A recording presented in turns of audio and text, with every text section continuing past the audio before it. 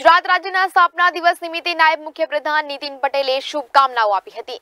તેઓએ જણાવ્યું છે કે ગુજરાતના તમામ લોકોએ દુનિયાભરમાં રાજ્યનું નામ રોશન કર્યું છે અને દેશને રાજ્યએ મહાત્મા ગાંધી અને સરદાર વલ્લભભાઈ પટેલ જેવા દેશભક્ત નેતાઓ આપ્યા છે. આ ઉપરાંત તેઓએ કહ્યું છે કે આજે આપણે જ્યારે કોરોના વાયરસની મહામારી સામે લડી રહ્યા છીએ, ત્યારે આપણે પ્રતિજ્ઞા કરવી જોઈએ કે હું કામ વગર હું બહાર નહીં નીકળીશ અને હું હંમેશાની માટે લોકડાઉનને લઈ સરકારના નિયમોનું પાલન કરીશ.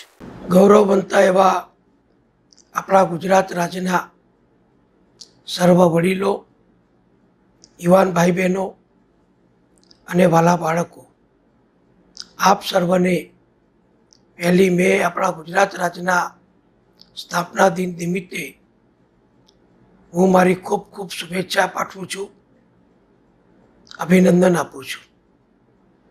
આજે સમગ્ર વિશ્વમાં ગુજરાતીઓ વસેલા છે.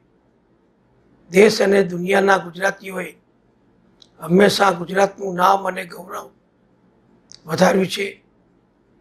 આપણું ગુજરાત રાજ્ય એ દેશનું એક અગ્રણી રાજ્ય છે.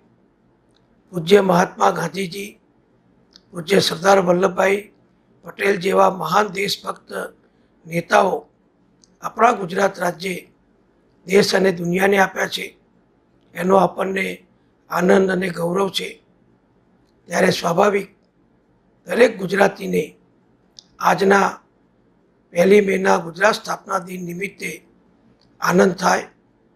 આપણું ગુજરાત રાજ્ય પણ માન્ય વડાપ્રધાન શ્રી નરેન્દ્રભાઈ મોદીના નેતૃત્વ અને માર્ગદર્શન હેઠળ કોરોના વાયરસની ગંભીર મહામારી સામે લડત ચલાવી છે.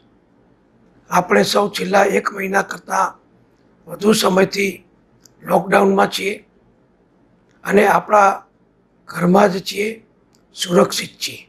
ગુજરાતના બધા જ નાગરિકોએ લોકડાઉન દરમિયાન સરકારને, આરોગ્ય વિભાગને, પોલીસ તંત્રને ખૂબ સહયોગ આપ્યો છે.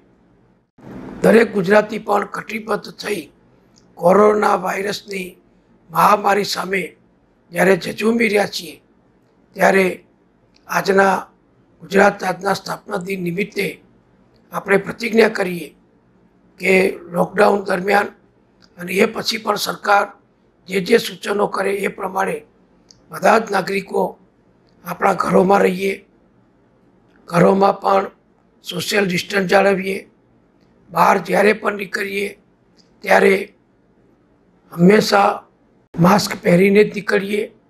કોઈ પણ વ્યક્તિ કોઈ પણ જગ્યાએ માસ્ક સિવાય ન ફરે. એની કાળજી રાખીએ.